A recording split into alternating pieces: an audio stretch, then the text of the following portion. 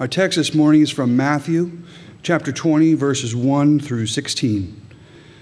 For the kingdom of heaven is like a landowner who went out early in the morning to hire laborers for his vineyard. Now, when he had agreed with the laborers for a denarius a day, he sent them into his vineyard. And he went out about the third hour and saw others standing idle in the marketplace, and said to them, You also go into the vineyard, and whatever is right I will give you. So they went. Again, he went out about the sixth and the ninth hour and did likewise. And about the eleventh hour, he went out and found others standing idle, and said to them, Why have you been standing here idle all day? They said to him, Because no one hired us. He said to them, You also go into the vineyard, and whatever is right you will receive.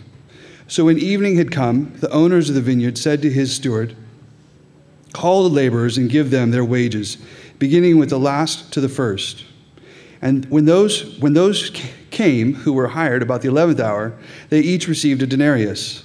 But when they first came, they supposed that they would receive more, and they likewise received each a denarius. And when they had received it, they complained against the landowner, saying, These last men have worked only one hour and you made them equal to us who have borne the burden and the heat of the day. But he answered one of them and said, Friend, I am doing you no wrong. Do you not, did you not agree with me for a denarius? Take what is yours and go your way. I, if I wish to give to this last man the same as to you, is it not lawful for me to do what I wish with my own things? Or is your eye evil because I am good? So the last will be first and the first last. For many are called, but few chosen. Let's pray. Heavenly Father, we come now to your word. In the beginning was the word, and you breathed into existence and shaped all matter by the power of that word. Lord, we ask you that you repeat your miracle of creation. By the power of your word, mold us and make us. Where repentance is non existent, speak your word and let it be. Where righteousness is lacking, send your Son, that his righteousness might be formed in us. And where our spirits are failing because we have no hope, give us Jesus and create our hopes anew. We ask that you do these things by the power of your Holy Spirit and in the name of your righteous Son, Jesus Christ. Amen.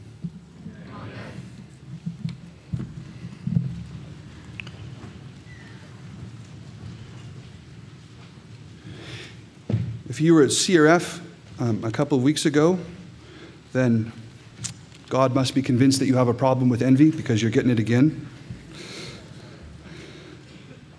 A quick, uh, quick summary of the text here, and then we're going to be kind of jumping around a bit. Here we have um, a number of workers sent out into the vineyard, agreeing at the front end that they'll work for a whole day for one denarius. That's the agreed upon contract with the first workers. And they're sent out at the first hour. And the way the, the time works here, um, the, the daylight hours are just divided into 12. So the first hour is the first hour of daylight, and then 12 would be sunset, not midnight. Other workers are hired later on at various intervals throughout the day, throughout the rest of the day, some at the third, the sixth, and then lastly, right at the 11th hour, which would be just shortly before sunset. So they only work a little bit. And they are all sent out into the vineyard as well. But each of these workers is promised that he will be paid whatever is right.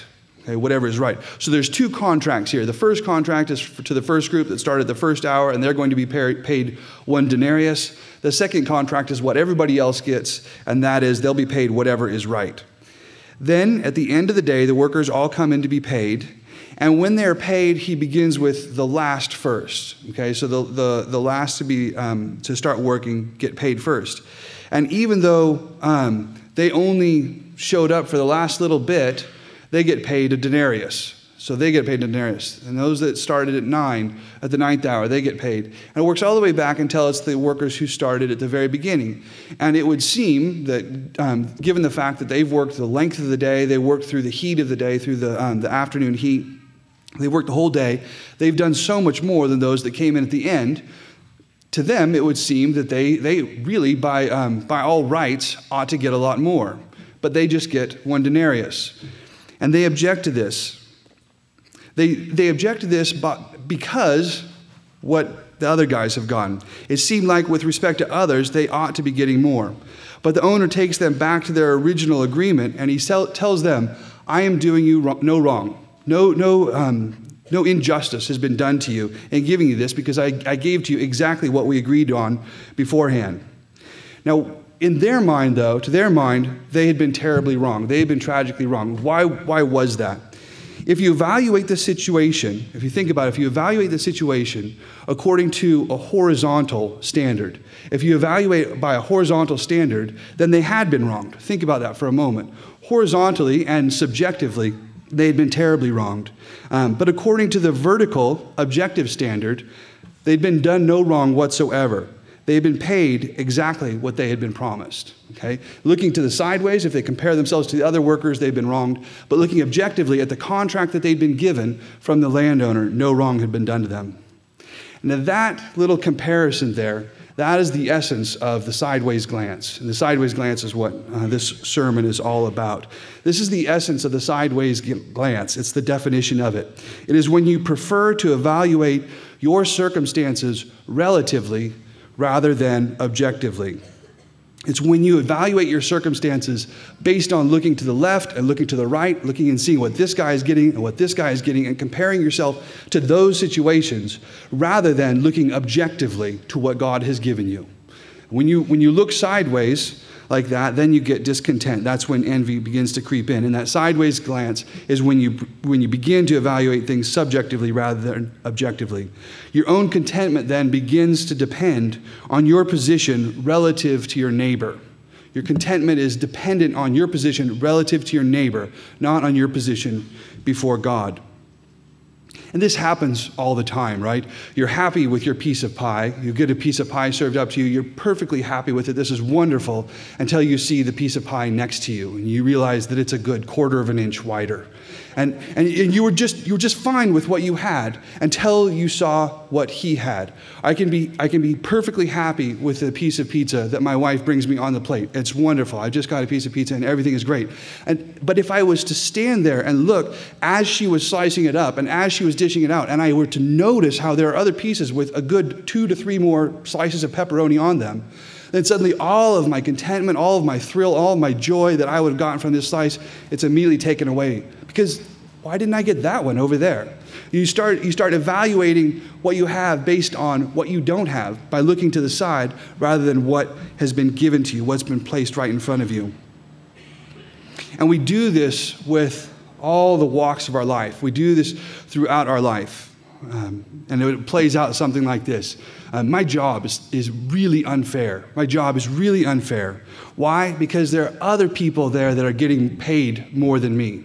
If you were to, if I was to just when I when I get the contract and look at it, I think this is fair, this is great, I love this, I'd love to do this work, and then suddenly I look and I see what's on somebody else's contract. I see what somebody else is getting on their paycheck, and suddenly I am getting robbed. I am getting uh, abused and used and milked for all I'm worth because look at what he is getting. I was fine with the contract when it was offered to me, but as soon as I know what somebody else is getting, I'm completely discontent. Um, other people who are less qualified than me are being put in, in front of me. Other people at work are getting recognition when I am not. Other people get the high from the boss and he just walks right past me. I get none of the recognition. I am not being treated fairly. My home life, my home life is unfair. I look around and, and I see other men will have their wives, the way they care for their husbands, it's not what I think I'm getting. And I start to get discontent because I don't feel like I'm getting what other, what other men, the way they're being provided for. Or conversely, for ladies, you look around and you say, My husband is not caring for me um, physically, uh, emotionally, spiritually. He doesn't lead me, he doesn't shepherd me, he doesn't do that the way I see other men do it. I see videos of, of men giving sermons, and I think that, that would be a real husband. If I had a husband like that, then, then I could respect that kind of man, but that's not what I'm getting at home. When he proposed, it all looked great, but then when I started looking around, looking left, and looking right, and seeing what other people are getting, suddenly it doesn't seem so good. Or flip it around, everybody else is married and I'm not. I'm single, right? You, you, you, you're fussing about your husband, you're fussing about your wife, but you have a husband, you have a wife, right? Um, I'm, I don't even have that. I'm all alone and all by myself. And that's why it's so hard for me. I can look left and right, and everybody else has families and kids, and here I am uh, sitting by myself. It's not fair. It's just not fair. Or as, as children, you can be talking about my, my parents Other, other people's parents, they take them on these amazing vacations. They go to Europe or they, they go to a lake cabin every year, but we go to a, a an RV stop in Winnemucca once a year. And, and that's, that's the extent of our vacation. I don't get what other kids are getting, I don't get what they're getting.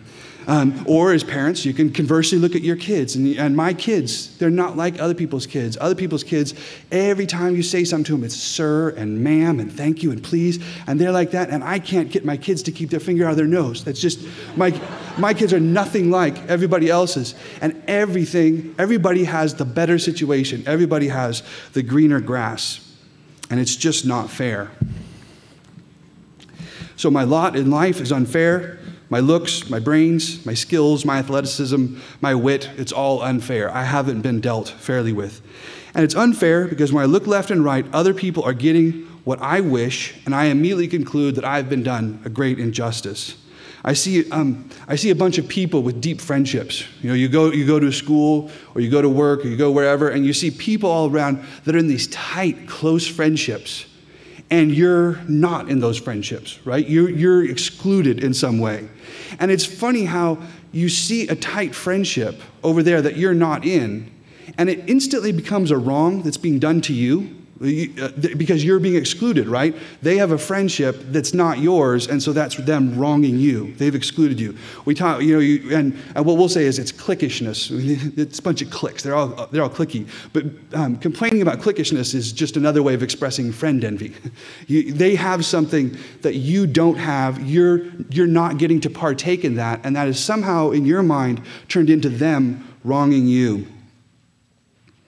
And, and parents will do this on behalf of their kids all the time. Um, we, we see other children getting all sorts of opportunities and blessing that our children seem to be, in one way or another, excluded from. And when we see our children somehow excluded from these things, we instantly conclude that they are being wronged, that they are being treated unfairly.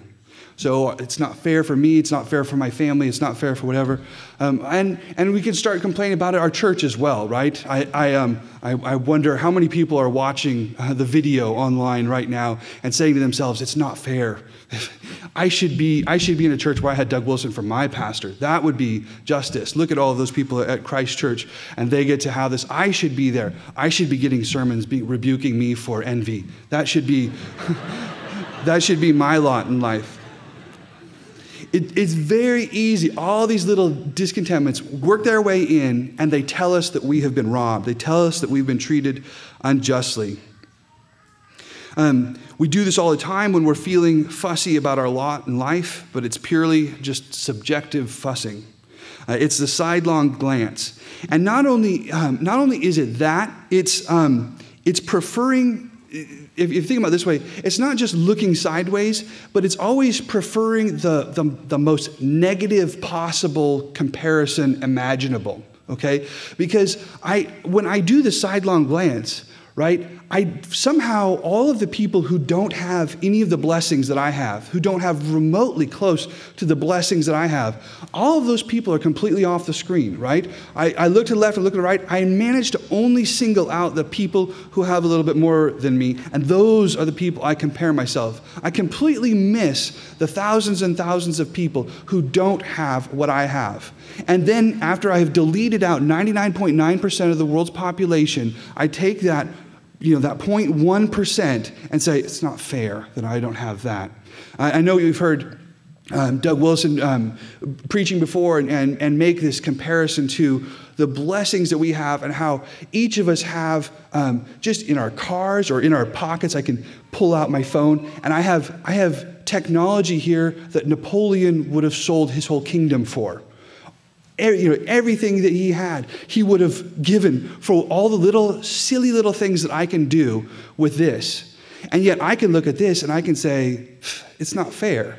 I, have the iPhone 3. It's not even a GS. It's not a 3GS. Everybody else has the iPhone 4 and they can do video chats with their wife. You know, I can't do video. I can just do pictures. I can text my wife a picture of my toe, and that's it. All right?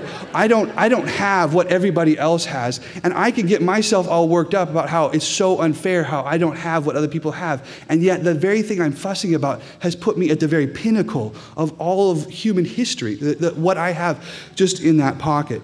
It's crazy how we can um, just dismiss everything and just find that one thing that we can envy about, that one little thing that we can covet about, and that's the only thing that we can notice. And it, it's become, it can become such an all consuming vice that we no longer um, find satisfaction in the blessings that we have. The blessings that we do have, we don't find satisfaction in those things as blessings um, in and of themselves we only find satisfaction in them in the, to the degree that they're able to create this sensation of covetousness in others. Have you, have you noticed that? I, I look at um, just sort of the, the world of social media, um, all the things that are going on in social media. How much of that is about basically giving you venues to set yourself up in the most enviable position possible?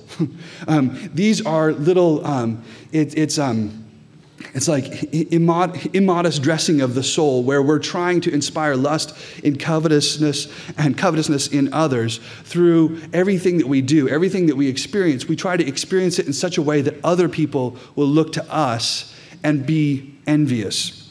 Um, how, many, how many blog posts uh, could be most accurately filed under the headings of, Please envy me for my domesticity, my marriage, my pious reflections, my whatever. How much of it are we actually truly trying to help and teach and inspire others? And how much of it is us actually trying to inspire um, jealousy and envy in others that are looking at us?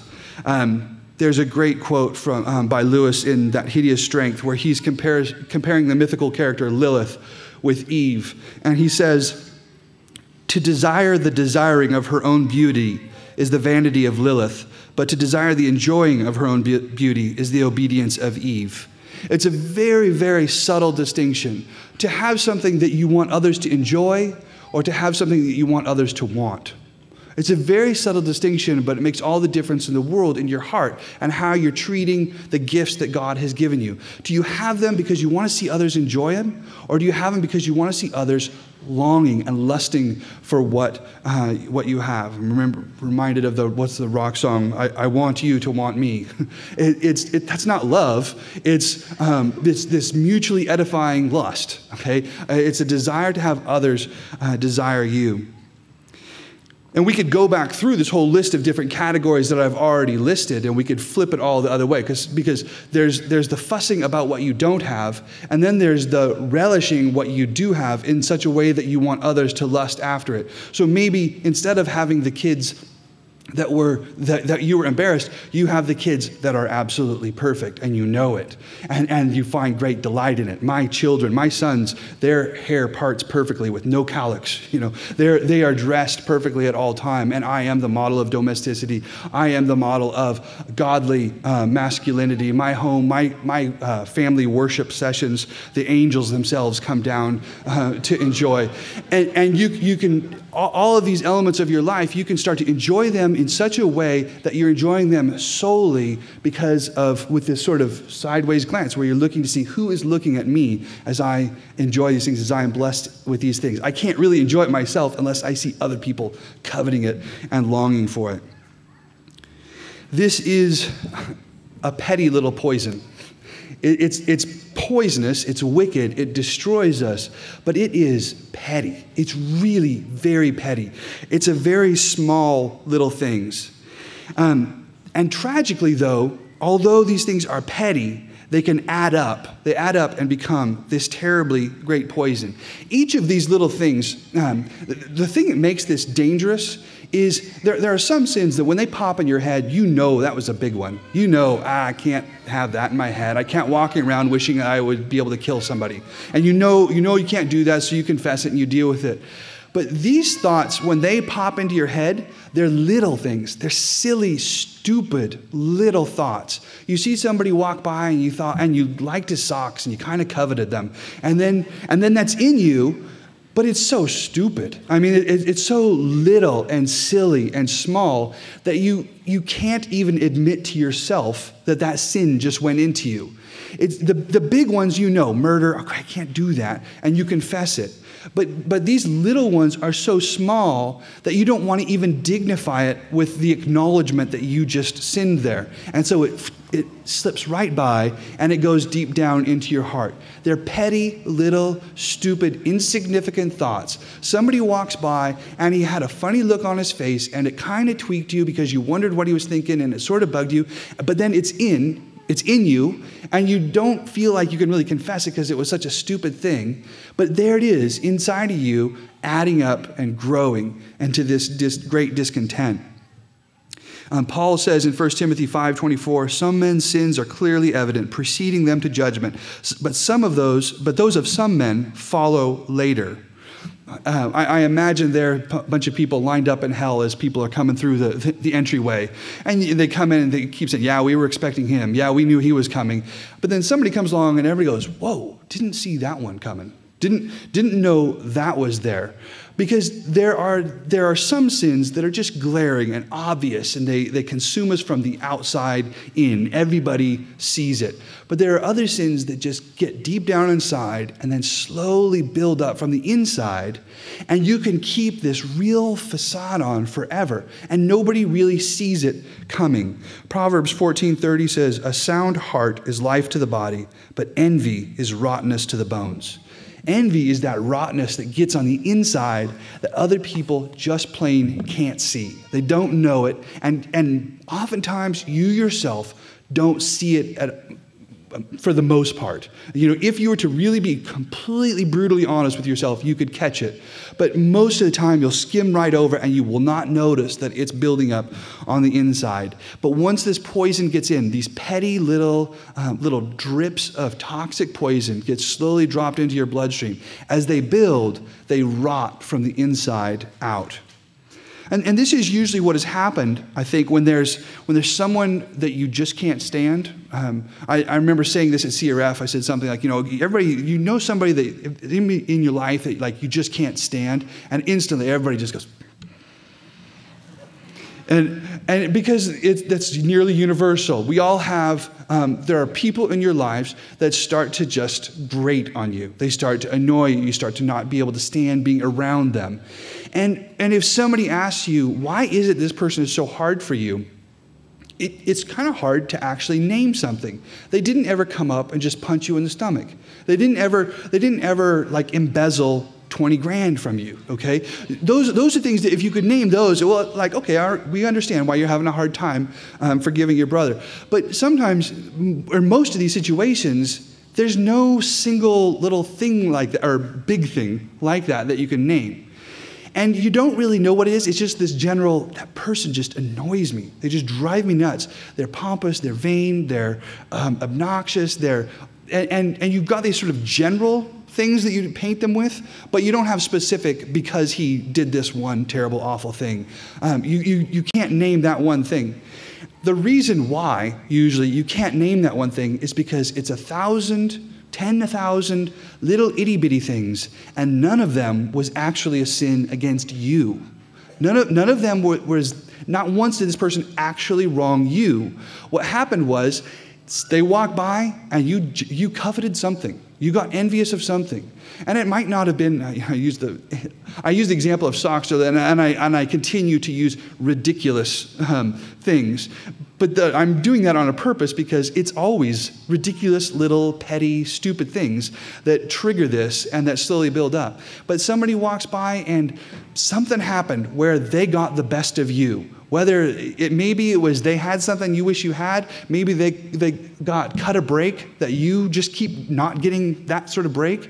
Maybe they um, maybe they're just um, possibly slightly superior than you in an objective sense. Maybe this person is smarter than you. Maybe this person is better at their job than you. Maybe this position, this person has done better in their career than you. Maybe this person um, has the looks that you wish you had, this, the athleticism you wish you had. Maybe this person in friendly exchanges constantly gets the best of you with those little jokes, okay? Have they wronged you? You tried to make a joke at them and theirs was better. And but but for some reason, because that keeps happening, because their wit is slightly sharper than yours, and they're just a little bit ahead of you, it adds up. It adds up. And those petty little complaints of yours go in and they begin to swell inside until you are just flat out bitter at that person. And you can't say, well, it's because he's got nicer sock collection than me, because that would just be stupid and you can't say that. And so what you say is, it just drives me nuts. That person, he's just, he's very arrogant. He's just very, um, she's just very vain. She's just very, and, and you just paint their whole person because you can't name the sin because actually the sin was yours. I'm, I'm convinced as, I, as you sort through different disputes and arguments and bickerings and whatnot, um, when there's an actual um, clash, how often was it inspired by an actual objective sin? You know, like he snuck over the night, shot my dog. Okay, objective sin, and that sparks the clash. Well, that would be objective, but very rarely is it that. It almost always starts with, I felt like he was. I felt like she was. It's imputed motives that start most of these um, clashes. This petty poison then builds up over time, and as it builds up, it just destroys the body of Christ. You, here's just a short term example of this. Um, this is almost proverbial. You'll see this, you know, two girls who have been best friends from uh, kindergarten through high school, and they graduate from high school and they decide they're going to go off to college together and they're going to be roommates together at college. Um, uh, now, if you've if you've seen the story, you know what happens. They, by the end of their freshman year, they absolutely cannot stand each other, and they've gone back and they've burned all the yearbooks, they've burned everything, and they've tried to wipe the, the earth clean of the recollection of that other person. Because what happens is, it's not, it's not that they were incompatible. Obviously, they'd been best friends all the way through high school. But then you plunk them down as roommates together, their freshman year in college, and they're beside each other, they're with each other nonstop at all times. And the, the level of toxicity in their blood system from all of the petty poisons that are being thrown in just goes all the way up. They're completely rotted out from the inside by spring break, and they cannot stand each other. Um, but it's not actual sin, it's just the petty resentments that build up. And they, and they don't have the maturity and the ability to confess it and deal with it so that they can stay, uh, th- so they can restore their friendship. And so it all goes south. But that's, that's like a short term over the course of, you know, um, one and a half semesters. But we see it all the time also longer term. I'm, I'm always surprised um, if, if you've seen this, you'll have people where they'll come to the church and they, they'll, you know, the, somebody who that's half of, more than half of the congregation here, move from other side of the country or whatever in order to belong to the church, in order to have their kids in the school, in order to whatever. And they'll come and they'll join the community. And when they get here, it's like, it's the promised land. It's the most wonderful thing ever. It's fantastic, um, all sorts of blessings.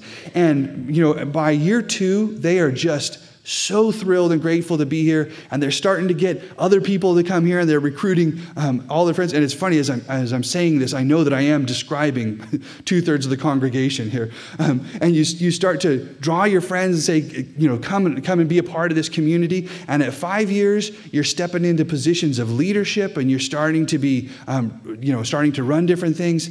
And at eight years, maybe you're, you're possibly um, an elder candidate or something like that.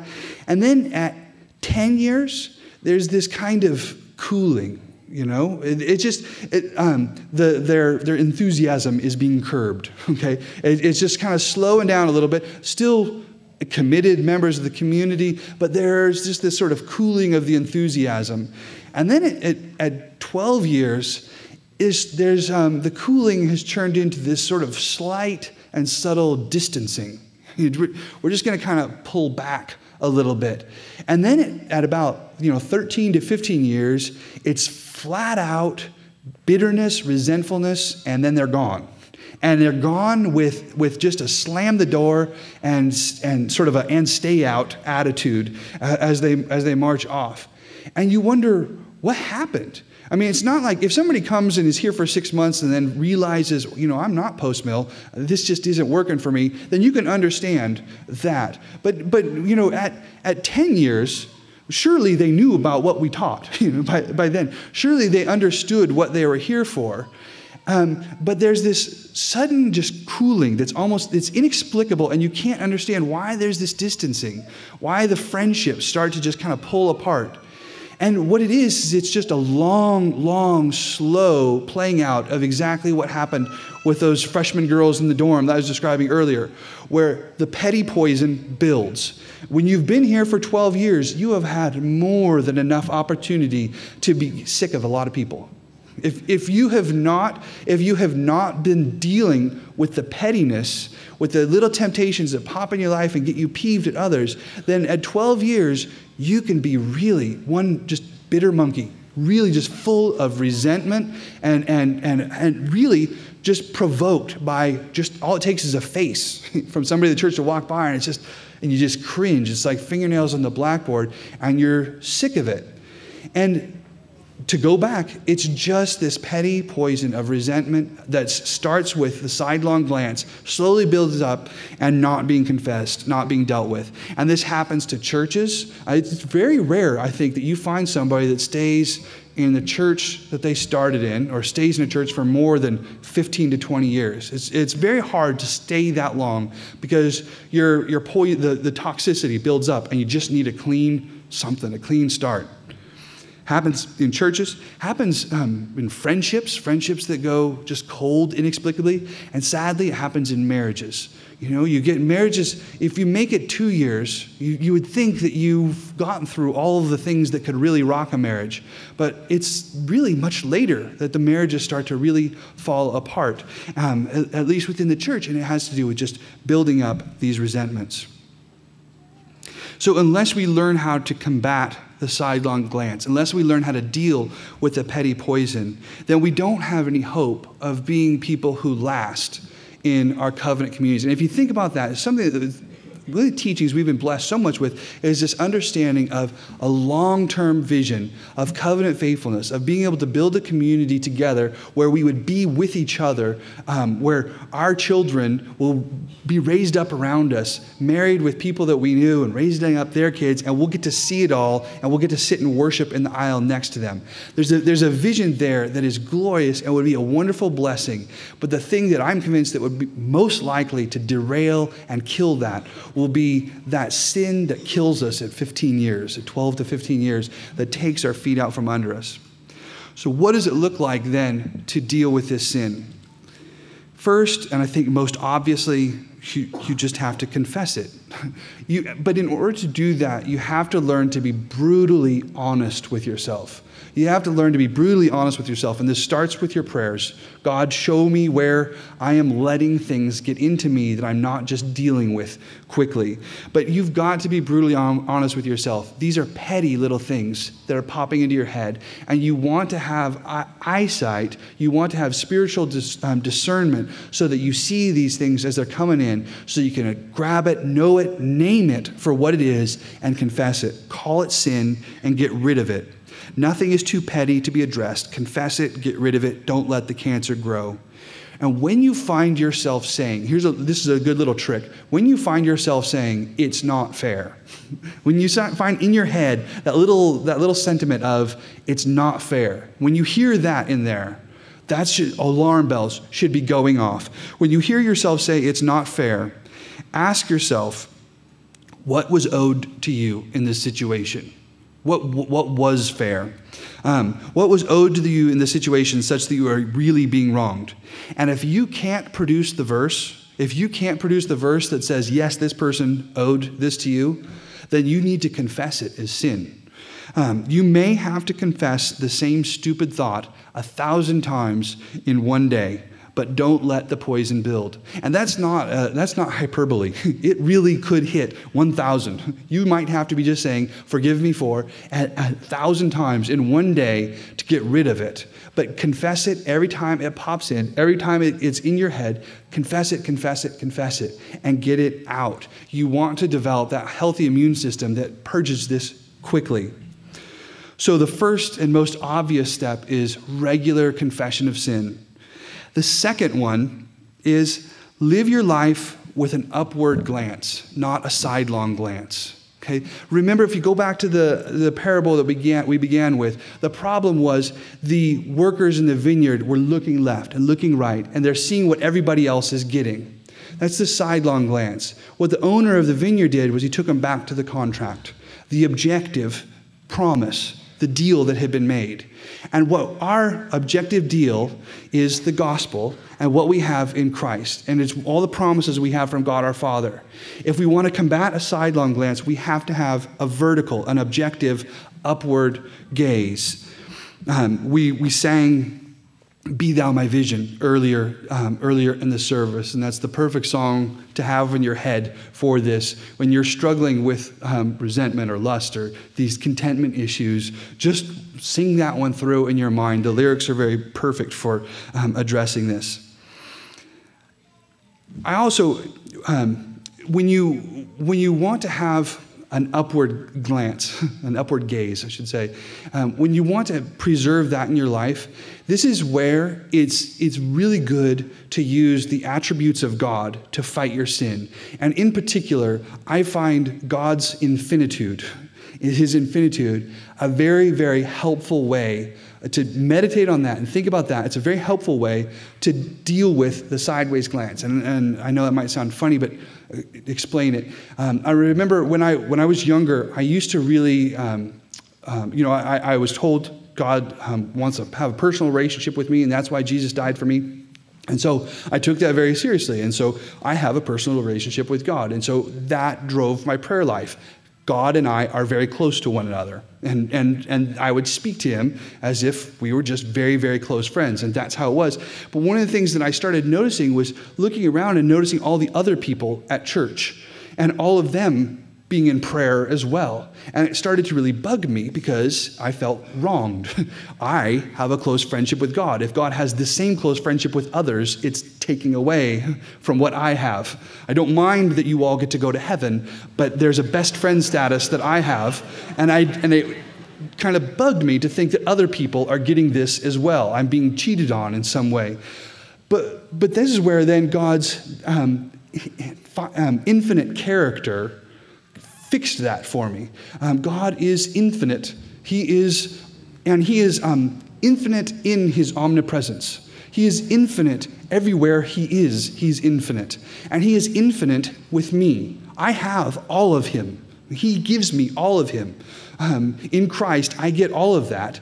And because He's infinite, the fact that somebody to the left and somebody to the right also has that doesn't in any way subtract with what I've got. This is where I think this is the one little bit of good that calculus did for me was the realization that infinity divided by 2 is still just infinity, right? So infinity divided by any any finite number is still infinity.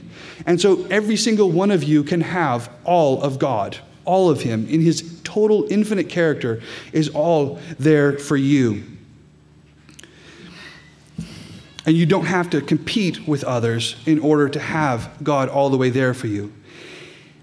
And that means that in your story, it, the story, the life that you are living out, there is nothing that you have to compete with in other stories in order to have the entirety of God's attention. I can have an upward gaze knowing that everything I am doing, God is following closely and delighting in what I am doing. And it does not matter that my story is not that story, that I am not that man, that I am not that family. It, that doesn't matter because I have all of God here. Um, think of it, this is from, uh, so I did calculus and math, try biology. Um, you, you notice uh, when you watch those. Um, weird nature shows. Um, and you'll see like uh, the submarine that's going to um, some deep oceanic canal that has never been, um, never been surveyed before. And the spotlight comes on, and you find some new and bizarre and crazy um, fish that the world has never seen. And as they study it, they find out it's got a reproductive cycle that is not used in any other creature anywhere. And it's got all these just crazy functions that you that are completely new. Nobody's ever seen anything like this. And when I see that, my first inclination is always, what a waste. You know, wow, that you, all of that, it's new, it's crazy, it's, it's something that nobody's ever seen before. And you hide it all the way down there, and just like one time a sub passes by with the floodlights, and that's it? That's all it's going to be seen? With, um, when we're when we're like uh, for instance with canon press if canon press has a really hot manuscript submitted and they say this is a good one this is a really really good one then the whole job is, you know, everybody's mission is to make sure that everybody reads this one. All attention is brought to this one. This is the one we're going to get John Piper to blurb. This is the one that we're going to make sure is on blog and Mablog regularly with little excerpts. This is the one we're going to make sure everybody sees it. A good one, you don't hide it because we want everybody to see it. But God's um, gaze is infinite. He's seeing everything. And he can have that fish down in the little oceanic canal, and he is delighting in that.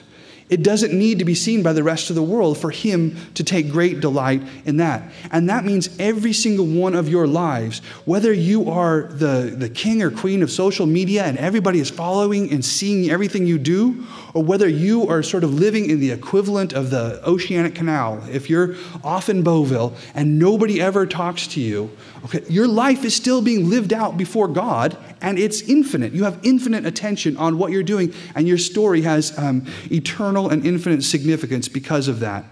I think of um, um, after Jesus' resurrection when he's speaking with um, Peter, and, um, and Peter says to him, um, pointing at John, and he says, Lord, what about this man? What about this man? Because the rumor had gone around that John was not going to take, taste death. And, um, and Peter had been told how he's going to die. And Peter says, what about, what about him? And Jesus says to him, If I will that he remain till I come, what is that to you? You follow me. what is that to you? You follow me. It's, it's like um, Aslan when he says, That's somebody else's story. but Jesus says, you. What about what is, what is that to you? What is what's going on to your left? What is it, what's going on to your right? What is that to you? You have a story that you're living out. You have all of my attention on that. All of it is on there because you can't divide up god's attention. It's, it's omnipresent in its um, it's infinite in its omnipresence. He is all of him is on is focused on you. What does it matter what other people are seeing or doing? You follow him. You live faithfully before him the widow who dropped her two mites. Remember when, when Jesus sees the widow who drops her two mites into the offering box, um, and, and Jesus points out how she gave all that she had. Hers was the greatest offering. Think of how many hundreds of wealthy men were standing around her at that moment, and then she drops her two mites in, and Jesus sees that. If you wanted to compare and contrast, uh, she obviously clearly had all sorts of room for envy, all sorts of room for envy. But God singled out what she did and was able to be right there to commend that. When we have an upward gaze, when we know that God is seeing what we do and we're living our life before Him, it kills um, our desire to constantly get what's going on to our left and to our right, have that um, be driving our motivation. So the, sec- the first was confess these things regularly. The second was to live with an upper gaze. The third is just to remember this is not the resurrection. This isn't it. Um, we're not in the resurrection right now. Your current circumstances are not your final inheritance. This is the hand that you've been dealt. This is not the final reward. So, what you have before you is what God has, has given you. It's like when he, the parable of the talents, where he gives them the talents. The talents were not the reward. The talents were given to them to say, Now, go, do with this what you will. In the same way that the widow only got two mites. That's all she had. Think of all the men with all the wealth all around her. They had all this wealth. She only had two mites. The money that each of them had, what they had in their wallet, that was just the hand that had been dealt. What mattered was how they played the hand. And the widow, with her two mites, played her cards better than anybody else. She's the hero of the story, right? She's the one that you walk away with saying, This is the blessed one. What your current circumstances and the comparisons that you're making, you're, you're missing the point. This is not the resurrection. This is not the inheritance. This is the hand that you're dealt. And God is looking to this to see how you play these cards. And then lastly, remember that grace is grace. Um, I, I, I, think my, my wife has, has remarked growing up uh, I think this was a, a Tom Garfield um, from Logos. If you say it's not fair at Logos, the answer was if we got what was fair, we'd all be in hell right? Um, and, and that's just a really good thing to keep remembering. When we start doing this, it's not fair, it's not fair we're completely forgetting the gospel. We've, we've forgotten the whole basic story of the gospel. If we got what was fair, we would be headed um, to hell. But what God gives us is something very different, and that's what we're to be looking for. We're to be looking for grace. I think it's interesting if you look at this passage, um, the Matthew 20 passage that we've been working through, and consider it in context for just a moment. The immediately preceding story in Matthew 19 is where you have Jesus um, interact with the rich young ruler. So you remember the rich young ruler comes in, says, What must I do to inherit eternal life? And Jesus gives him um, essentially the second half of the Ten Commandments, the, the laws relating to how we um, treat one another. Don't murder, don't commit adultery, don't tell lies. And, he, and he goes through the second half of the, the Ten Commandments. And the, the rich young ruler says, Yeah, I've kept all of those. And then, but Jesus has saved one. And he says, um, he, he's not listed, do not covet. He dropped the 10th commandment and he didn't say, don't covet. So he waits through till the guy has gone through all those. He says, yeah, I've kept them all. And then he says, now, sell everything you've got, give it to the poor, and come follow me. And the rich young ruler is crushed because it, we're told um, he walked out because he had great wealth. Um, he was somebody who was struggling with that flip side of the sideways glance, right? He's got all this wealth that he can't let go of. Um, and he's, he's clinging to it, and he can't uh, let go of it. And then, and then he walks out downcast. And then the disciples come up to Jesus and they say, Lord, we've left everything to follow you. And Jesus tells them, Yes, and because you've left everything, there's going to be 12 thrones, and you're going to judge the 12 tribes of Israel in the resurrection. And then he concludes it with saying, um, but many who are first will be last, and the last first. The rich young ruler was first in this life, but he will be last because he couldn't let go of his, uh, of his lust, of his sideways glances. The disciples who had left everything, walked, left it all, and had, um, for them, it wasn't, didn't have to be upward because Jesus was right there. They put all of their gaze on Jesus. Because they did that, they will be made first. And then, so that's verse, um, that's the very end of chapter 19 the very first verse of chapter 20 for the kingdom of heaven is like. This whole parable of the vine dressers is intended to illustrate this very principle that the first will be last and the last will be first. And then and you notice at the very end of the parable of the vine dresser verse 16 so um, the last will be first and the first last for many are called but few are chosen. We when we fight the sideways glance we are trying to be first and we're trying to, or sorry, when we fall to the sideways glance, we're trying to be first. But the point here is you're trying to be first in the wrong line. You're, it's, like, um, it's like you're at the DMV and there's all these long lines, and you get in line and you start throwing elbows and cutting and sneaking and telling people, look at Santa Claus, and they look and you cut ahead of them. And you're doing all this to get all the way to the front, and you get yourself to the front, and it's like the line for um, registering your tractor. It's the farm equipment line. It's the wrong line. You're, you're putting everything into trying to be at the front of this line, and it's completely misplaced. The line you want to be in is over there, and you get to the front of it by a completely different means. We drop, when we, when we fall and we succumb to the sideways glance, we're fighting to be at the front of the wrong line. Um, but we're promised here that the, that the line that we want to be in, that we will be at the front of, we will get there by being last. If you think, um, reminded of uh, Paul's exhortation in Philippians 2. Let this mind be in you, which was also in Christ Jesus, who, being in the form of God, did not consider it robbery to be equal with God, but made himself of no reputation, taking the form of a bondservant, and coming in the likeness of men. And being found in appearance as a man, he humbled himself and became obedient to the point of death, even the death of the cross. Here is the Son of God. Here is the second person of the Trinity, who humbles himself, leaves, the, leaves heaven, and comes to earth, humbles himself to take on the body of a man. And then, as a man, humbles himself further to become the servant of all, to die the most gruesome and humbling death, the death on the cross. And Paul says, let the mind of Christ be in you. Let this mind be in you, which was also in Christ Jesus. Christ had an understanding of what line he wanted to be in. He let go of the sideways glance. He let go of those um, claims of what he had by right. And he, and he gave himself. He emptied himself. He humbled himself. And, and Paul says, let that mind be in you. And then, if you continue on, Therefore, God has also highly exalted him and given him the name which is above every name, that the name of Jesus every knee should bow, of those in heaven, of those on earth, of those under the earth, and that every tongue should confess that Jesus Christ is Lord, to the glory of God the Father. And that's striking, where he humbles himself, he walks to the back, and when he walks to the back of the line, you discover it is the very front of the line. This is the gospel. What Jesus did there, that is our salvation. That is the gospel. Let that mind be in you. Let go of the sideways glance. Let go of your claims to what is unfair and what ought to be fair. Let go of that and have the mind of Christ, what, the, the mind that Christ had when he pursued our salvation. Let that mind um, be in us. We have this mind of Christ, though, by grace, through faith, the gift of God, so that we can't boast. It's all grace. So again, let grace be grace. And let's pray. Father, we know that by our own power, we are incapable of successfully addressing and purging even the smallest of lusts.